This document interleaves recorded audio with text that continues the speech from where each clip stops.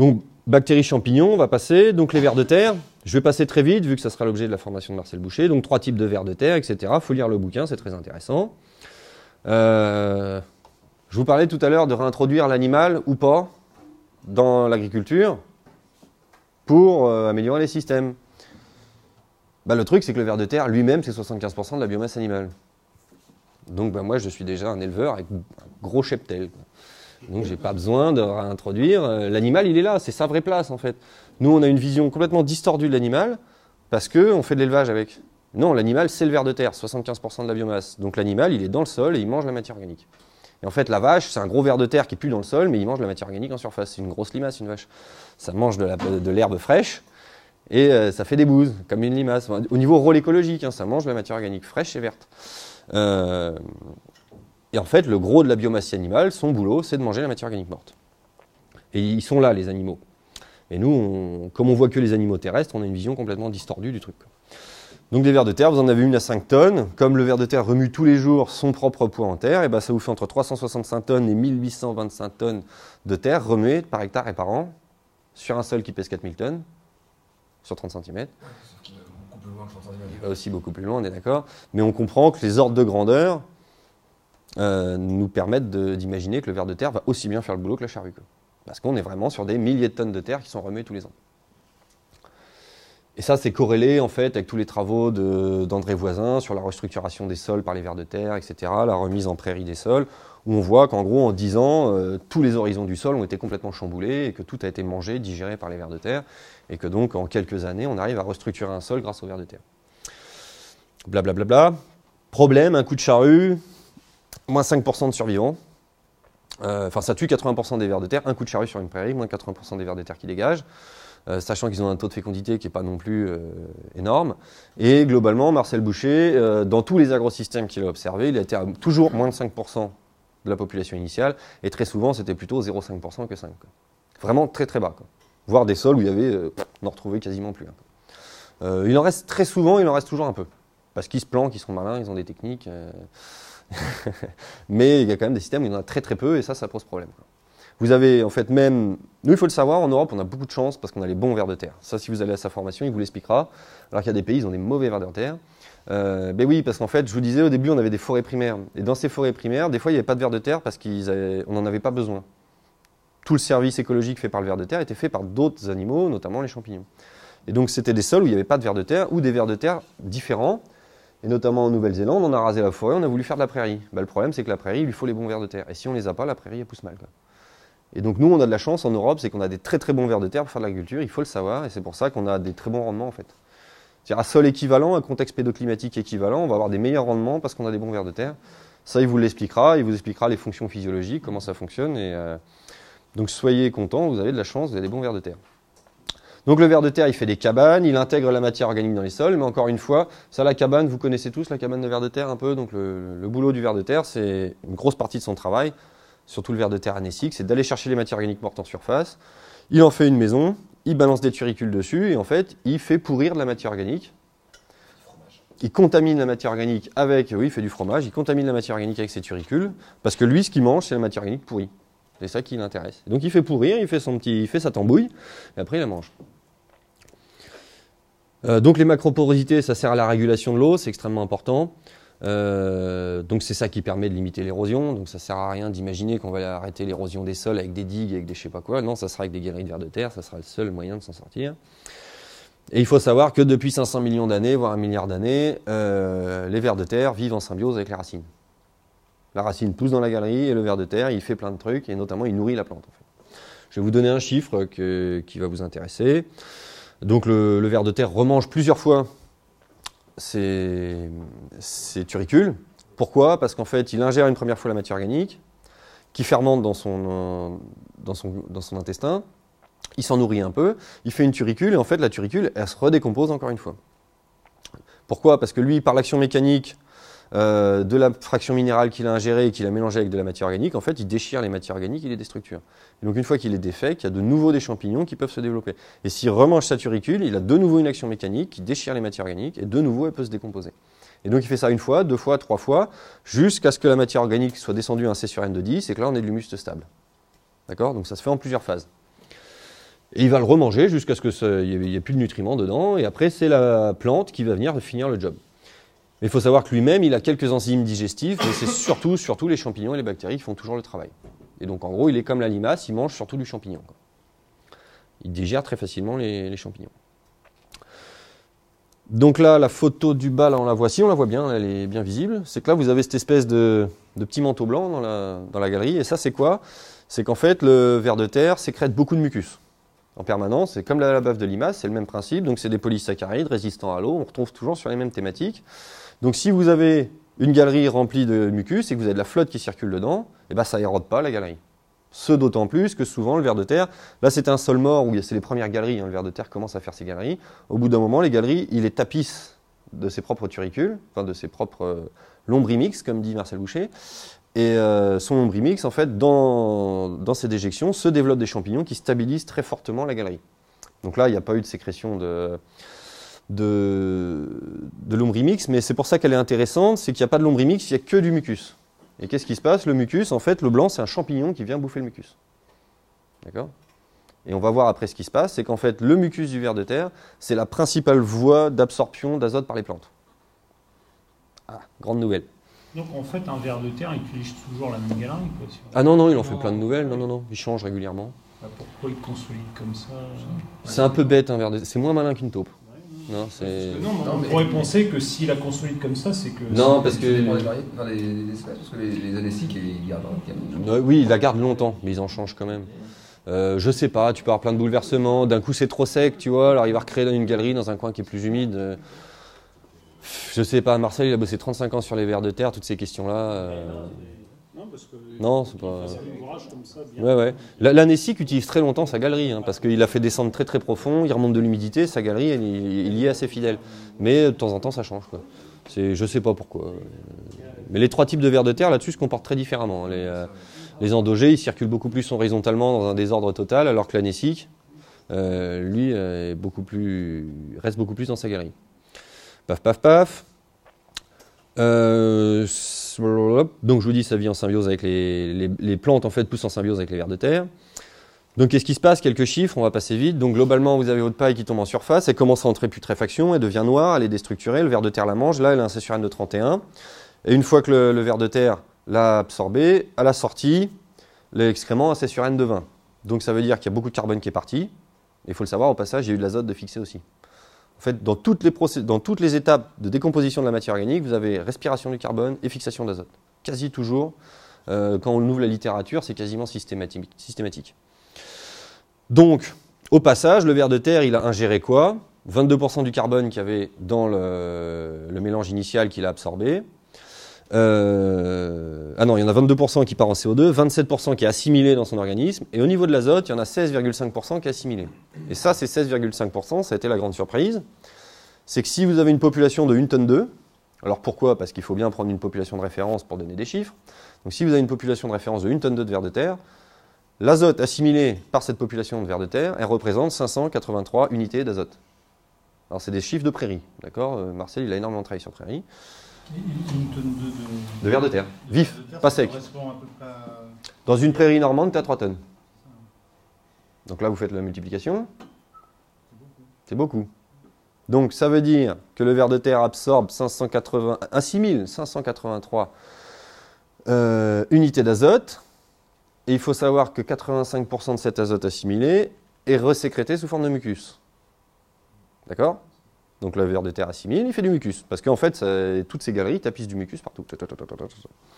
Donc ça veut dire qu'on a 500 unités d'azote dans le mucus des vers de terre. C'est beaucoup. Et après, donc là, ça, sera le boulot de Marcel, il vous l'expliquera en détail. On sait que dans les 50 jours qui suivent, toute l'azote du mucus, on le retrouve dans les plantes. À 100%. Il n'y a pas de perte, zéro perte. D'accord? Donc vous avez une symbiose très très très très forte entre les racines et les mucus où l'azote est amené à la plante d'une manière très particulière, où elle est non lessivable par l'eau, alors que vous savez que les galeries, l'eau passe dans les galeries d'air de terre, donc on pourrait se dire, euh, il y a forcément du lessivage. Non, zéro lessivage. On 100%. Et toute cette azote, donc 500 unités, euh, puisque 583 euh, unités, en fait, on le retrouve à 100% dans les plantes.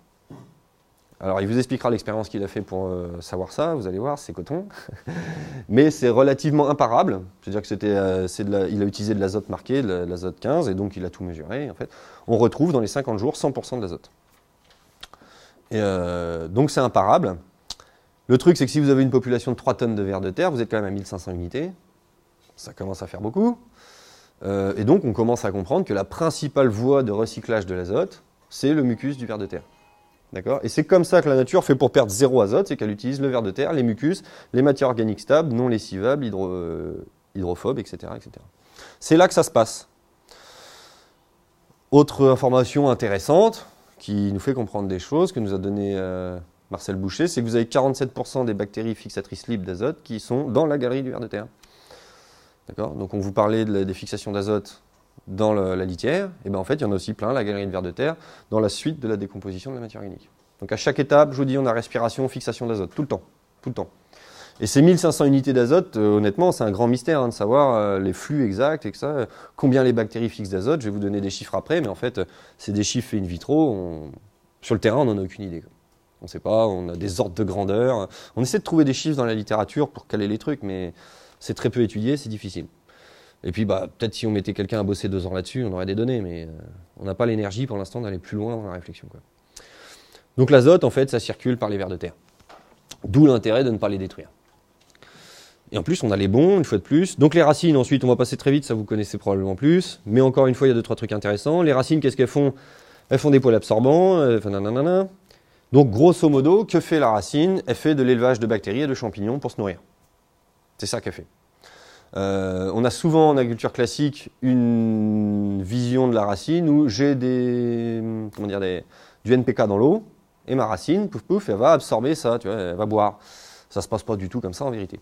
Euh, la racine élève des bactéries et des champignons, donc des mycorhizes, pour se nourrir. Toute seule, elle fait pas grand chose, mais malgré tout, ça marche si je mets ma plante que dans l'eau. Enfin, ça marche. Je prends de l'eau avec des- des- du NPK dedans, ça va pousser. quoi. Mais on a beaucoup de déséquilibres, des problèmes. On sait que si on met trop de nitrate, la plante elle absorbe, elle tombe malade, etc., etc. Et en fait, ce qui est intéressant de comprendre, c'est que la plante, elle, elle, elle a des, elle a les, voies qu'on va appeler les voies naturelles pour absorber les, nutriments, et ça se fait par symbiose avec les bactéries ou les, ou les champignons. Donc, comment elle fait pour élever des bactéries? Ben, Je vous parlais des exsudats racinaires, qui pouvaient monter des fois à 80% de la photosynthèse brute. Sur les plantes, les plantes annuelles, c'est beaucoup moins. Donc, la plante, elle sécrète des sucres qui nourrissent des bactéries, et à un moment, elle se débrouille avec ses poils absorbants, alors elle les affame, elle continue de les nourrir, elle fait plein de trucs bizarres, et elle finit par récupérer euh, plein de nutriments qui, en fait, c'est les bactéries qui ont été les chercher dans le sol à sa place. D'accord? Notamment la décomposition des matières organiques. La plante, elle va à un endroit où il y a des matières organiques, elle sécrète des sucres facilement assimilables, les bactéries se développent, elles finissent par bouffer les matières organiques, faire plein de trucs. La plante récupère pour elle. C'est là le rôle des poils absorbants. Et vous avez quelque chose de beaucoup plus efficace encore que la bactérie, c'est le champignon. Parce que le champignon, en fait, euh, bon, je ne veux pas rentrer dans le détail, mais il est énergétiquement plus efficace que la bactérie. Et il est beaucoup plus mobile, il va beaucoup plus loin, il a une certaine forme de reptation, de déplacement, qui lui permet d'explorer plein d'horizons du sol. Et donc c'est pour ça que dans les plantes évoluées, quasiment toutes les plantes euh, sont symbiotiques avec des champignons, parce que c'est très efficace énergétiquement pour aller chercher la nutrition dans le sol. Et au passage, la- les champignons symbiotiques structurent aussi le sol, en utilisant des, donc des, des, des exsudats racinaires. Des plantes, euh, dans tes légumes, tu sais quelles sont les, les plantes qui sont Oui. parce que- Toutes sauf crucifères, euh, amarantacées. Euh, Enfin, ça c'est une, une théorie, mais dans tes légumes, attends, tu produis non? Les bou- non, bah, c'est dur à voir les mycorhizes, il faut se lever de bonne heure quand même. Ouais. Euh, Il y en a des sortes pas possibles, comme je te dis, la plupart des champignons, tu les vois pas. Puis d'ailleurs, je me suis jamais pris la tête à regarder ça. Euh, Ouais, on peut pas tout faire. Non, mais je- Mais a priori, euh, bah, Morgane a cherché là, il y a pas longtemps, on a confirmé ça. euh, C'est amarantacé euh, crucifère, c'est pas mycorhizé. Mais ce qui veut pas dire non plus que vous n'avez pas des exsudats racinaires pour nourrir des, des bactéries qui fassent des choses très intéressantes aussi. hein. Mais c'est juste, c'est pas mycorhizé. Mais euh, les bactéries, c'est pas non plus si nul que ça. hein. Je vous dis, ça vit en colonie, ça fait plein de trucs intéressants. Pas... Donc la mycorhize, a priori, c'est le top du top. Mais bon, euh, on, est en train de mener des expériences justement. euh, bon, peut-être euh, on a eu un peu du mal à la mettre en place. Je vais voir les résultats. Euh, c'est en gros, on a pris encore une fois de la terre, des matières organiques, on a mélangé. On a laissé composter à froid pendant six mois. Et on a fait différents types de mélanges, alors du gazon, de la feuille, du compost, du BRF, du nanana, on en a fait des je sais pas combien de pots. Et l'idée, ça va être de mettre une famille de plantes dans chaque pot et de voir leur capacité à aller se nourrir dans des matières organiques à moitié décomposées. Parce que dans les pots, il n'y a pas de verre de terre pour mouliner tout ça. Donc il n'y a pas les mucus, le cycle de l'azote et tout ça. Donc on est sur des matières organiques qui sont semi-décomposées avec un C sur N de 20-30 par là. Et on va mettre les plantes directement dedans pour voir si elles arrivent à se nourrir sans les vers de terre. Je sais déjà en fait que les crucifères y arrivent mal. Je sais que plus on va avoir des structures carbonées dures comme du BRF, plus ça sera dur d'aller chercher le- les nutriments dedans. Plus on va avoir des carbones mous comme du gazon, plus ça sera facile. Sais que vous, euh, on, a fait des expériences très rigolotes. Vous prenez un sol tout mort où vraiment il n'y a rien, donc du sable. Enfin, je vous montrerai après. Ça va venir après. Allez, on avance parce que là, je. Midi. On, on arrête à quelle heure, Morgane? D'accord. Donc, ça, on en a parlé hier. Le cycle fondamental de la fertilité, c'est photosynthèse. euh, donc, deux réactions chimiques fondamentales. D'un côté, la photosynthèse, de l'autre, la respiration. C'est les deux réactions inverses. D'un côté, je crée des structures de carbone, de l'autre côté, je décompose des structures de carbone pour récupérer l'énergie. Tout le cycle est basé là-dessus. Il va falloir remettre ça au centre de l'agriculture, sinon on n'arrivera à rien. Et l'organe de recyclage dans nos systèmes, c'est le sol, avec toute son activité biologique. Et à la fin, une fois que la décomposition de la matière organique est totalement faite, c'est là qu'on peut récupérer le NPK. Mais on ne peut pas récupérer le NPK proprement d'une manière bonne pour la plante si on n'a pas la, structure carbonée, l'organisation carbonée qui va avec. Donc cette vision qui consiste à penser que la plante elle absorbe des nutriments dans la solution du sol, il faut la mettre de côté, elle est fausse. Elle est vraiment totalement fausse. Je vous dis, le gros cycle de l'azote, c'est le mucus du ver de terre, c'est tout. C'est pas le reste, tout ça, c'est des histoires. Donc c'est des visions des choses qui datent d'une époque, bah, déjà qui datent de sols travaillés où il n'y a pas de biologie et où donc effectivement les nutriments sont en solution dans l'eau, mais s'ils sont en solution dans l'eau, ça veut dire quoi? Ça veut dire que pour polluer, je fais du café, d'accord? C'est en solution dans l'eau, il pleut, ça fout le camp à la nappe. Et donc il ne faut pas que ça soit en solution dans l'eau, sinon ça fout le camp à la nappe. Il faut que ça soit structuré dans du carbone. Donc nous on s'est posé une question toute bête. Le sol, il mange combien? Parce qu'il mange, on le nourrit, il mange du carbone, bah mais il mange combien? Parce que si je veux construire un système agronomique, il faut que je nourrisse. Si oui, il y a des éleveurs ici, vous savez bien que vous ne pouvez pas faire manger 3 tonnes d'herbe à une vache dans la journée. Il faut une ration que vous calculez très savamment. Euh, là, j'ai plus de protéines, de machin, je sais pas quoi, vous avez des indices équivalents, trucs, muches, enfin, c'est très compliqué. Euh, et vous savez que si la ration n'est pas bonne, la vache, ça va pas. Quoi. Et bien le sol, ça va être le même débat. Il est vivant, il faut le nourrir, il faut une bonne ration. Donc c'est pour ça qu'on a commencé à chercher les chiffres de production de carbone des écosystèmes pour savoir combien je devais nourrir mon sol tous les ans, tout simplement. Donc grosso modo, chez nous, les chiffres qu'on a trouvés, ça tourne entre 20 et 40 tonnes. Les chiffres, encore une fois, sont peu fiables parce que c'est dur de mesurer les exsudats, c'est dur de mesurer toutes les petites radicelles qui sont décomposées tous les ans dans, dans la prairie, c'est dur de chaque feuille morte, etc. C'est difficile de mesurer, mais l'ordre de grandeur c'est 20-40 tonnes. Donc on s'est dit on va commencer à bosser avec ça. Et puis si ça marche, eh ben, on restera là-dessus, ou on en mettra un peu plus, on en mettra un peu moins, on fera varier le délire et puis on verra ce que ça donne. Donc c'est un chiffre qui fonctionne chez nous. Si vous êtes en zone équatoriale, euh, bah, vous êtes x2, x4. Euh, Il y a des gens qui connaissent Lucien Segui, euh, Olivier Husson, du CIRAD, tout ça. Donc bon, ils font des itinéraires techniques où c'est 60 tonnes de biomasse par hectare et par an. Des sorgho qui font 6 mètres de haut, des trucs comme ça. Vous êtes au Brésil, ça n'a rien à voir. Une très bonne conférence de Lucien Segui qui a été faite à la FAF là-dessus, où ils expliquent des trucs très rigolos. Comment on sème 500 hectares dans la journée, ou des choses comme ça. C'est- C'est assez rigolo, faut aller voir. Euh, il faut aller voir. Il a fait aussi euh, sur, la chimie, il a fait des, expériences très intéressantes hein, sur la, décomposition du glyphosate aussi. Il, a fait des expériences, il faut aller voir, c'est vraiment très intéressant. Donc, ce chiffre, il est. Hein? Lucien Segui, Lucien Segui, Lucien Segui. Euh, Non, en fait, au CIRAD, c'est assez rigolo. Il bosse depuis 15-20 ans sur tout ça et, et c'est très peu connu en France. Parce que le CIRAD, en fait, il fait de la recherche agronomique, mais à l'étranger. Ils ont été un petit peu persona non grata en France, parce que l'INRA voulait pas les laisser foutre le pied sur le territoire, raconter, leur- raconter leurs âneries sur l'activité biologique des sols et le SMI direct. Et aujourd'hui, ça change, mais pendant 10 ans, ils ont beaucoup bossé à l'étranger ils n'avaient pas le droit de venir raconter ce qu'ils savaient faire en France, il faut le savoir. Euh, et on a pris un. Et alors, ce qui est drôle, c'est qu'à l'étranger, les gens pensent que les Français sont super forts en SMI direct. quoi. Ah, on est trop balèze, mais non. En fait, c'est juste une grosse poignée de chercheurs du CIRAD qui savent faire des trucs. Les autres. euh, Et sinon, vous avez Olivier Husson qui travaille aussi beaucoup sur euh, le redox. Il y a deux, trois conférences, le potentiel redox, deux, trois conférences qu'on fait euh, de lui sur Internet. Et nous, on a commencé à travailler avec lui aussi parce que c'est un sujet très polémique. En fait, c'est les champs électroniques dans le sol.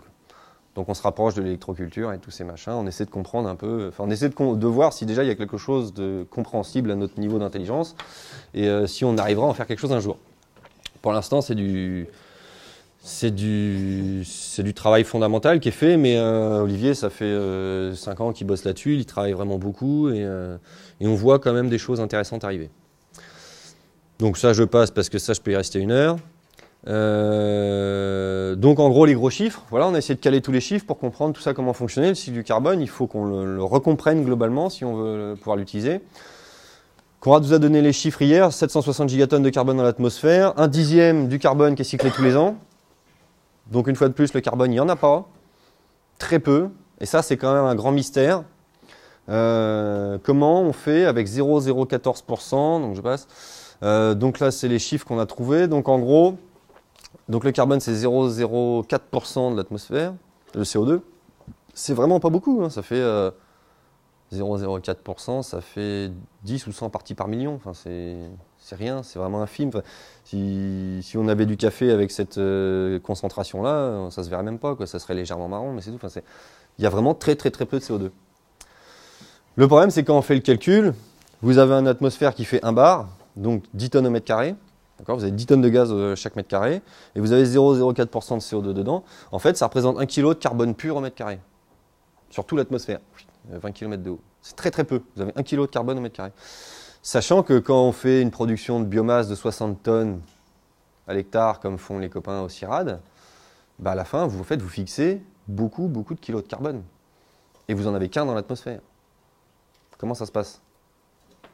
C'est là qu'on a commencé à comprendre ce que Conrad vous a raconté hier, c'est qu'en fait le carbone il vient pas de l'atmosphère, il vient du sol. On n'a pas encore compris par quelle voie la plante absorbe le carbone, comment ça se fait que le carbone se barre pas avec le vent et tout ça, mais il y a peu de, peu de littérature là-dessus, on ne sait pas trop. Mais en tout cas, la seule solution pour l'instant qu'on envisage pour expliquer comment ça peut fonctionner, c'est que le carbone il sort directement du sol, il soit directement assimilé par la plante et que ça tourne en circuit euh, fermé comme ça entre le sol et la plante.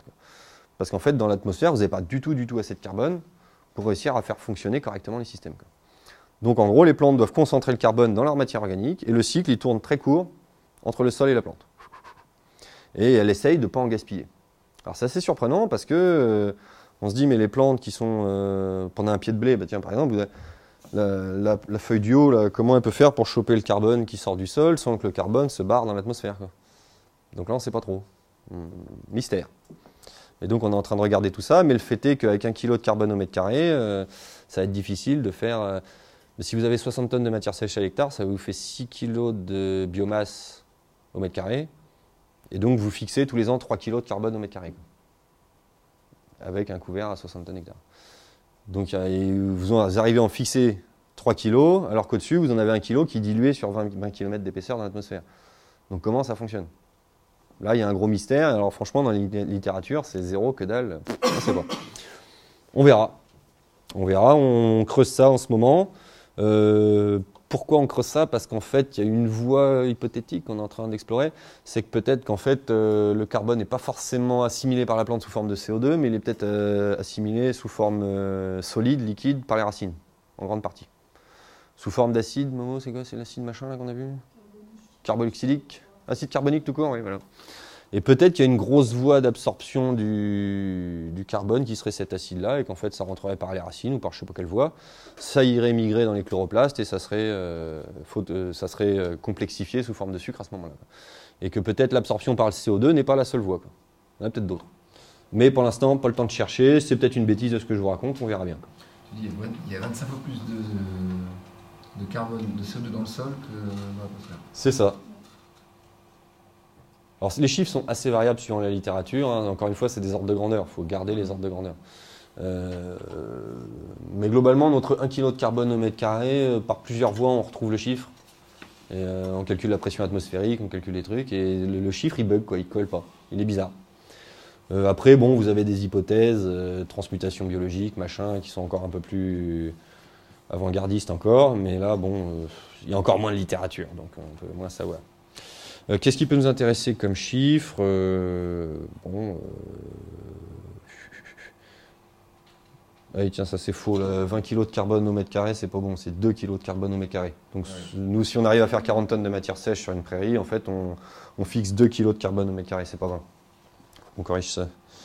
Euh, mais déjà, c'est le double de ce qu'il y a dans l'atmosphère au-dessus. Alors, vous avez une grosse part de l'atmosphère qui n'est pas utilisée. Au-dessus des océans, il n'y a pas de photosynthèse, tout ça. Donc, il y en a de disponible du CO2. quoi. Mais c'est qu'il est extrêmement dilué. Et c'est ça qui est perturbant dans la compréhension de comment ça fonctionne. Euh, la question, quand même, qui est intéressante, c'est qu'en agriculture, on nous dit souvent que c'est l'azote qui est le facteur limitant. Ben, moi, je trouve que le carbone, avec 0,004%, c'est peut-être plutôt lui le facteur limitant dans la construction du système. Et c'est tout le travail qu'on a fait sur les fixateurs libres, c'est-à-dire qu'on s'est rendu compte que dans la nature, l'azote était très rarement un facteur limitant. La, la- nature avait plein plein de voies pour choper de l'azote. Vous, vous baignez dans l'azote, vous vivez dans l'azote, vous respirez de l'azote, vous mangez de l'azote en permanence, 80% de l'atmosphère. Donc l'azote, il n'en manque pas. Par contre, du carbone, il en manque un paquet. Parce qu'il y en a très très peu. Donc l'atmosphère a C sur N C sur de 0,0002. Bon, ça c'était pour rigoler, mais euh, en gros, Quand on met un peu d'azote sur une plante qui est jaune, ça regarde tu dis rien. Ah oui, oui, oui. J'imagine bien que. Mais pourquoi elle manque d'azote? Ouais, C'est ça le débat en fait. Comment ça fonctionne? Et euh, voilà. Donc la décomposition de la matière organique, ça va passer vite. Donc au début, toutes les matières organiques sont gros C sur N. Ça perd son C sur N jusqu'à devenir de l'humus stable. Respiration, perte de carbone, fixation d'azote. Le C sur N il diminue jusqu'à un C sur N de 10. Question, combien dans toute la décomposition de matière organique on arrive à fixer d'azote? 50 unités, 100, 200, 300, 400, 1000, on ne sait pas. Donc une idée, euh, on a vraiment du mal à trouver des chiffres. Donc euh, là, c'est l'expérience que j'ai faite. Donc je prends de la paille, je la mets dans un pot juste avec de l'humidité. Au bout de trois mois, elle ressemble à ça, elle est toute marron. Et donc là, mes analyses me montrent qu'elle a un C sur N de 20-30. Marcel Boucher me dit que c'est exactement à, C sur N, ce C sur N et dans cet état-là que le ver de terre se nourrit. D'accord? Donc il y a un espèce de cap, un seuil où la matière elle atteint une certaine putréfaction. Et si on veut qu'elle aille plus loin en putréfaction, il faut qu'elle soit déstructurée mécaniquement pour pouvoir continuer sa décomposition. D'accord Le carbone, il est structuré chimiquement, mais mécaniquement aussi. Enfin, c'est des structures qui sont emboîtées les unes dans les autres. Je vous montrerai une diapo après. Il faut qu'il y ait une déstructuration. Que là, si tu laisses ce pot-là euh, Mm. longtemps, ça bouge plus. Ça bouge plus. C'est assez rigolo. ouais. Il faut une déstructuration mécanique. Et la plupart des plantes sont incapables d'aller chercher l'azote là-dedans. Alors que ça, c'est goinfré d'azote. euh, J'ai fait des analyses et ça bouge pas. quoi. Encore une fois, la nature ne laisse pas perdre l'azote comme ça. Tout est bien structuré, organisé et ça, ça se barre pas comme ça. quoi. Et donc, on a ce cap du C sur N de 20-30. Et ce qui est rigolo, c'est que si vous prenez un BRF à 200, à 300 ou une paille à 60, le cap est toujours le même, c'est autour de 20-30. Mystère, pourquoi, quand, comment, ça varie d'un dixième et la nature du carbone fait un peu varier, mais pas tant que ça. Et ensuite, à la fin, ça finit toujours plus ou moins sur un C sur N de 10, la matière organique stable. Là, on a quelques chiffres variables, mais globalement, on est quand même à 10. Le- les composts, ça finit à 10. Tout, tout ça, ça finit à 10. À quelque chose près. Euh, voilà. Donc ça, c'est le cycle. hein. Donc au début, c'est mangé par les champignons, les bactéries. Ensuite, les vers de terre, c'est sur N de 20-30, ils remoulinent tout ça. Et de nouveau, les bactéries et les champignons finissent par redécomposer. À la fin, on a de l'humus. Et que fait la plante? Bah, Elle utilise elle aussi des bactéries et des champignons pour finir de décomposer. Donc c'est toujours les bactéries et les champignons qui font le boulot et qui font descendre doucement la matière organique et qui la décomposent. Voilà. Donc ça, c'est un petit essai que j'ai fait. C'est très simple. J'ai pris des pots, j'ai mis de la paille, j'ai pris un pot, j'ai mis du BRF, j'ai mouillé et j'ai attendu un certain temps. Euh, j'ai envoyé une partie de la paille au labo pour faire une valeur agronomique simplifiée. Donc, il me donne euh, la matière sèche, l'azote, le carbone, tout ce qu'il y a dedans, blablabla. Et à la fin de la. euh, une fois que j'ai atteint mon C de 20-30, j'ai renvoyé au labo et il me disait ce qu'il y a dedans. Donc, en gros, j'ai perdu dans les deux cas 30% à peu près de mon carbone. Euh, C sur N initial, voilà. Ma paille, elle avait un C initial de 63 et mon B... non, de 64 et mon BRF un, un C sur initial de 63. Alors c'est des C assez bas parce que j'avais pas envie de sortir mon gros broyeur, donc j'ai pris un petit broyeur et j'ai mis des petites branches. Donc les petites branches ont un C plus bas parce qu'il y a plus de, de matière vivante dedans. Et ma paille, c'était la paille d'il y a deux ans. Vous savez, elle était tout pourrie, pourrie, pourrie, où euh, la paille était déjà pourrie dans les champs. Et donc en fait, mon C sur était déjà descendu à 60. Donc c'est pour ça que j'ai des C sur N de 60, alors que sur une paille, effectivement, on a un C sur N plus élevé, sur les BRF, en moyenne, un C sur N plus élevé. Et donc, dans le travail, mon C sur N final, il était de 30 à peu près, 26, 30, on est dans cet ordre de grandeur-là, donc ça collait bien, j'étais content, ça faisait un truc bien. Euh, et ma masse, est-ce que... MO, est-ce que je l'ai ou je l'ai pas mis? Ma MO finale, elle est où? Pourcent de matière sèche finale. Donc dans un cas, j'ai perdu 45% de matière sèche, et dans l'autre cas, j'ai perdu 39% de matière sèche. Donc le, carbone. J'ai à peu près 30-40% de mon carbone qui s'est barré. Et par contre, aux surprises, à la fin, j'ai 112% d'azote sur le BRF et 134% d'azote sur le BRF une fois que j'ai fait tous les calculs.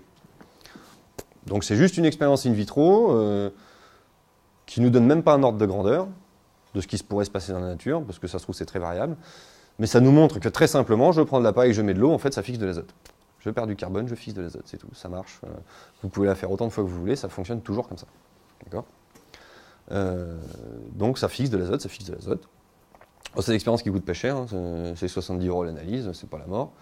Euh, on va essayer d'en refaire cette année avec d'autres matériaux, etc., à rigoler un peu. Les prochaines expériences que je vais faire, je vais les refaire, mais je vais aussi mesurer tout le NPK et tout le reste. Comme ça, je vais bien voir si effectivement on a, on a une équivalence totale ou s'il y a des transmutations ou s'il se passe des choses. Tu as fait sur combien de bocaux là? Euh, là, c'était un de paille, un de BRF. quoi. Donc, euh, bon, après, si tu veux, c'est des- je me suis pas emmerdé à le refaire parce que, si tu veux, c'est corrélé avec plein d'autres trucs. Quoi. Mais il faut qu'on les refasse parce que les ordres de grandeur, là, il peut, ça peut varier de, de 15-20%. Quoi. C'est Pas... Mais bon, ce qui était déjà rigolo, c'est qu'en fait, le, le résultat, il était positif euh, sur une expérience qui coûte vraiment pas cher. quoi. Et euh, donc, c'est suite à toutes les lectures qu'on a fait dans la littérature, on s'est dit, putain, mais c'est obligé que ça fonctionne comme ça. On a fait l'essai, ça marche. Et euh, si vous voulez, il y a eu euh, depuis 10 ans là qu'on bosse un peu sur les BRF, il y a eu des débats à rallonge quand j'ai des fins d'azote, est-ce que je fixe de l'azote Il y a eu des programmes de recherche qui ont coûté des millions là-dessus, il n'y en a pas un qui a été foutu de faire ça et puis de dire bah oui, il y a de la fixation d'azote, on gagne de l'azote. Vous avez une fin d'azote, vous gagnez de l'azote, point, c'est comme ça. Et il n'y en a pas un qui a été foutu de faire l'expérience alors que ça coûte 300 balles de la faire. C'est comme ça. Euh, comme ça. Donc ça vous connaissez, nain du puits, on va passer. Euh, le coefficient K1, K2, donc ça c'est des courbes de minéralisation. Ce que je vais pouvoir vous, amener comme réflexion, on va passer parce que sinon on va disserter 3 heures. Euh, tac, tac. Ça c'est des résultats de reliquats d'azote que j'ai dans mes parcelles. Ça, c'est le grab qui m'a payé ça, on a bien bossé là-dessus. Donc en gros la question initiale qu'on s'est posée il y a, il y a 5-6 ans, 7 ans, c'était si je mets que de la paille dans mon sol, est-ce qu'à la fin je suis en fin d'azote permanente ou est-ce que j'ai plein d'azote? Bah, comme ça poussait de plus en plus, je savais que j'avais de l'azote. Enfin, on imaginait qu'il y avait de l'azote, vu que ça poussait. Et un jour, avec l'agence de l'eau, le Grab m'a dit Tiens, tu veux pas rentrer dans un programme de reliquat? Je fais bien sûr que si. Et là, oulala, il y en a beaucoup. Donc en gros, on navigue entre 100 et 200 unités d'azote partout sur les parcelles, il y en a plein, alors que j'en fous jamais, je mets toujours que de la paille. Euh, sur la serre 2, là, vous avez un petit accident de parcours à 489, ça commence à piquer. Non, c'est parce qu'on avait balancé 5 cm de compost, on avait un peu mal réfléchi à notre affaire. Euh, là, ça fait de l'azote. Il y en a beaucoup. Et cette parcelle, la 2 sur 6, elle est assez rigolote. Parce que ça, c'est la plupart de mes parcelles ont été remis en route avec à peu près 300 tonnes de matière organique. Et euh, des intrants de paille et 20 cm de paille tous les ans. Puis des couverts végétaux sur certaines, etc. La 2 sur 6, c'est une parcelle qui n'a reçu qu'à peu près une centaine de tonnes de matière organique. Initialement. Et globalement, elle est toujours moins poussante. Le cycle de l'azote est beaucoup moins présent, etc. Et, donc on voit les reliquats sont un peu plus faibles. En visu, euh, moi j'ai jamais vu de corrélation entre les reliquats et la manière dont ça pousse. hein. C'est-à-dire qu'en fait, ces, reliquats-là, c'est que du, nitrate et de l'ammonium, mais ça ne veut pas dire qu'il n'y a pas d'azote sous d'autres formes. Il faut imaginer quand vous avez 5% de matière organique, vous avez une masse d'azote colossale, et en fait, euh, la manière dont ça circule, on ne sait pas. Donc des fois on voit de l'azote, des fois on voit de l'ammonium, mais s'il disparaît, ça ne veut pas dire qu'il en a peut, il peut être réabsorbé par les champignons, refaire plein de trucs, on n'en sait foutre rien euh, de comment ça se passe. faut qu'on creuse ce sujet-là, mais ce qu'on voit, c'est qu'il y a de l'azote partout, puis ça pousse. Quand, euh, quand tu mets de la paille, euh, 20 tonnes de paille, tu, tu replantes euh, tout de suite derrière euh, dans la paille ou Oui, oui, oui. Bah, avec des reliquats pareils, euh, même si dès que tu mets un paillage, tu as obligatoirement une petite fin d'azote dans les deux premiers centimètres du sol, mais avec des reliquats comme ça, euh, la racine elle descend en dessous, euh, oh, il n'y a aucun souci. euh, Sur des parcelles comme j'ai, là, je peux, maintenant je peux mettre euh, 10 cm de BRF, je plante un truc, ça pousse. hein, il y a pas de... Tout ça, ça se démerde. Toutes les plantes réagissent pas pareil. Les, crucifères, c'est feignant pour aller chercher l'azote. Donc ça, c'est une petite expertise de maraîcher qu'il faut développer. Donc un exemple, ça c'était un sol euh, labouré, sans vers de terre, nanana. on balance 150 tonnes de BRF hectare, on met les couverts. Donc au début, nous on savait pas trop, est-ce que les couverts c'est indispensable? Les glomalines, machin, est-ce qu'il faut à tout prix mettre des couverts pour avoir des mycorhizes et des trucs pour que ça fonctionne? Ou est-ce que si je mets que de la matière organique morte, ça marche? Le ver de terre descend de la matière organique morte dans le sol, donc on avait deux voies d'introduction du carbone. On savait pas, donc on faisait les deux. Comme ça, c'était bien. On fait les couverts. Donc là, nous, on n'avait pas de pognon à l'époque, euh, même pas de semoir, donc on balance des graines. Et on se dit, bah, pour avoir beaucoup de graines, qu'est-ce qu'on fait? On laisse monter en graines, puis on broie quand c'est en graines. Et puis après tout, les mauvaises herbes, euh, il paraît que c'est le meilleur truc pour restructurer un sol. Et en fait, c'est vrai. La mauvaise herbe, il n'y a rien de mieux pour restructurer un sol. Donc première année, qu'est-ce qu'on a? Beaucoup de légumineuses. On en avait semé, hein, du trèfle, machin, ça pousse, ça pousse. Euh, la légumineuse vivace, euh, très concurrentielle sur les mauvaises herbes, l'air de rien. Mais des belles mauvaises herbes qui poussent bien aussi. Et là, aux surprises, au bout de deux ans, bon, on avait quand même mis 150 tonnes de BRF initial pour redémarrer la machine. Tout ce qu'on a fait deux ans de suite, c'est de broyer tout en graines. Et au bout de deux ans, qu'est-ce qui se passe? Des graminées s'installent et étouffent les légumineuses. Elles ont complètement disparu. Et en plus, vous voyez, c'est relativement propre. Il y a un rumex par-ci, un rumex par-là. Mais en fait, la graminée a réussi à exploser toutes les mauvaises herbes, a pris sa place, a colonisé, s'est installé. quoi. Et en plus, ce n'est pas des graminées vivaces, c'est des annuelles. Parce qu'en fait, euh, je ne sais plus ce que c'est, c'est du brome, je sais pas quoi. euh, je connais rien en graminée, il faut que je travaille ça. Euh, parce qu'en fait, il y en avait un petit peu dans le terrain. Très vite, elles se sont multipliées. Et il semblerait bien que les graminées aient quand même des propriétés en termes de croissance, de fertilité, de j'en sais rien, qui font qu'elles sont très très concurrentielles, à un moment sur le- sur l'ensemble des mauvaises herbes.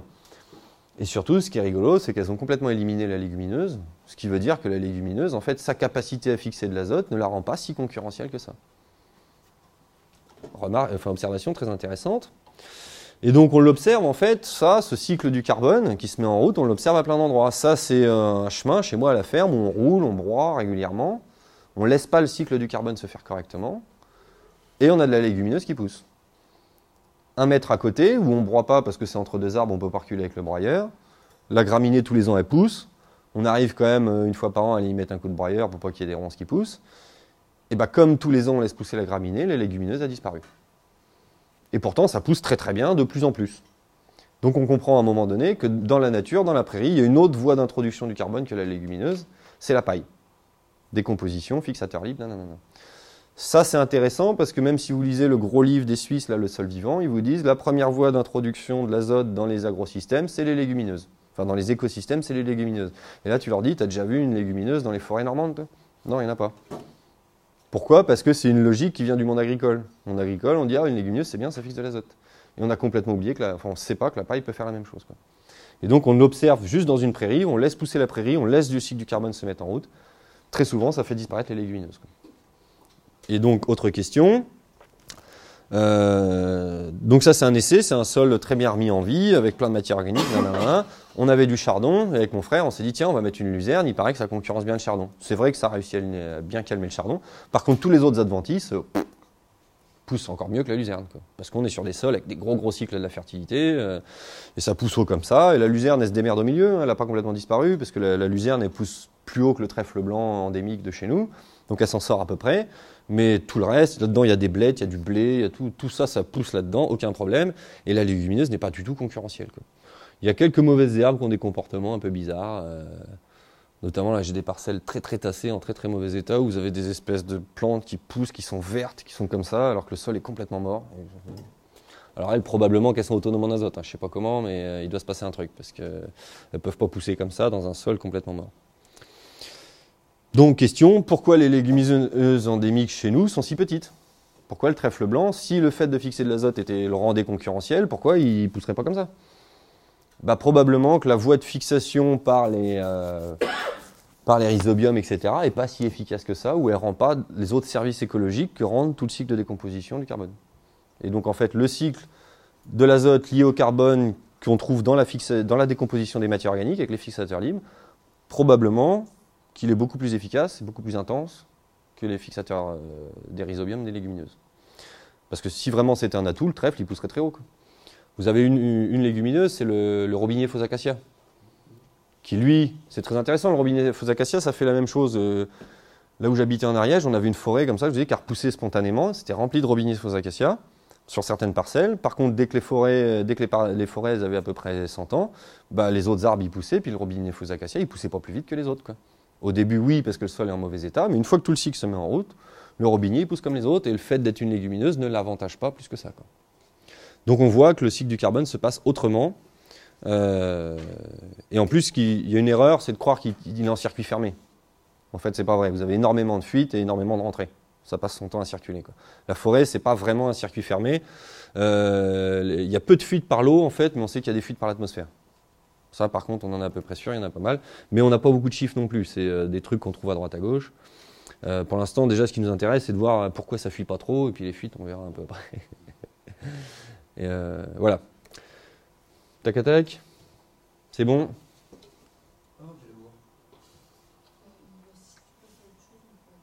Oui, on va manger, puis je, je